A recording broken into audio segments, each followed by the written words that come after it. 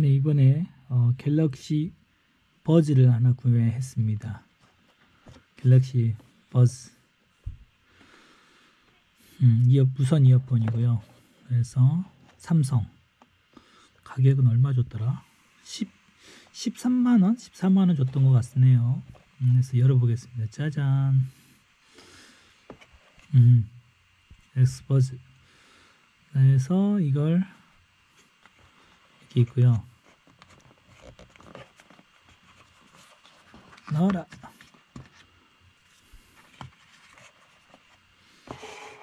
음? 음, 있고 뭐가 들어있냐면은 이렇게 두 개가 이렇게 들어 있습니다. 볼까요? 왼쪽 오른쪽 왼쪽 오른쪽 어? 왼쪽 오른쪽이 있고요. 그래서 이걸 키고 이걸 충전을 시키고 갤럭시에 갤럭시 폰에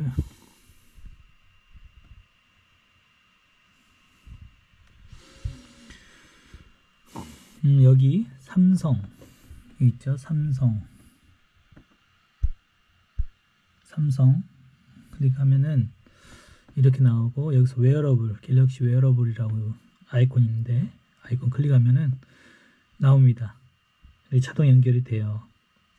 음, 여기서 자기 원하는 부분을 설정을 해서 사용하시면 됩니다. 알림 설정 터치패드 난 터치패드를 죽여놨어요. 터치패드. 끌 수도 있고 죽일 수도 있고 활성화 시킬 수도 있고. 그 다음에 여러 가지가 있는데 자기가 맞게 설정을 하시면 됩니다 그래서 전 통화가 될 줄 알고 썼는데, 샀는데 어, 헬멧 쓰고 오토바이 운전할 때 헬멧을 쓰고 이거 끼고 통화를 하니까 하나같이 시끄럽다고 무슨 말인지 못 알아듣겠다고 하더라고요 그래서 지금은 운전할 때는 어, 스피커 스피커 모드로 해서 사용을 하고 음악 들을 때나 음, 음악 들을 때는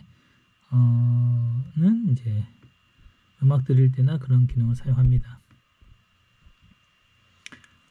보시면 음, 여기서 여기서 보시면은 출력이 있어요. 출력 오디오 출력 여기서 위에서 내려보면 오디오 출력이 있는데 오디오 출력에서 어, 내 휴대전화에서 소리를 낼 것인지 갤럭시 버즈에서 소리를 낼 것인지 선택할 수가 있습니다. 그러면 어, 통화를 할 수 있어 선택을 할 수 있어요. 음, 그래서 선택을 할 수 있습니다. 이렇게 품질은 음질은 엄청 좋은 것 같아요. 음악 듣기 음악을 가끔 듣는데 아 정말 좋더라고요. 음악 듣는 것은 참 좋습니다. 음. 지금 충전이 되고 있네요. 충전이 아침에 제가 일어나서 거의 3시간 음악을 들었는데 지금 그래서 어, 충전이 많이 없어져서 충전을 하고 있는 상황입니다.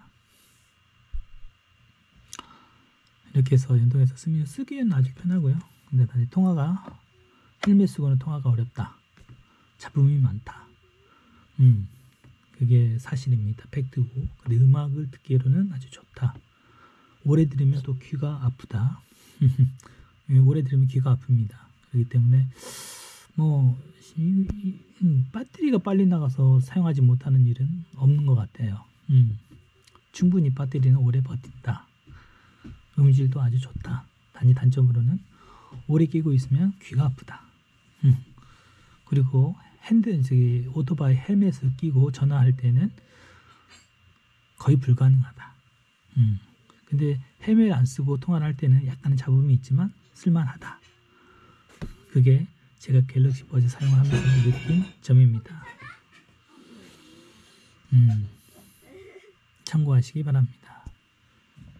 삼성 갤럭시 버스 이상 마치겠습니다.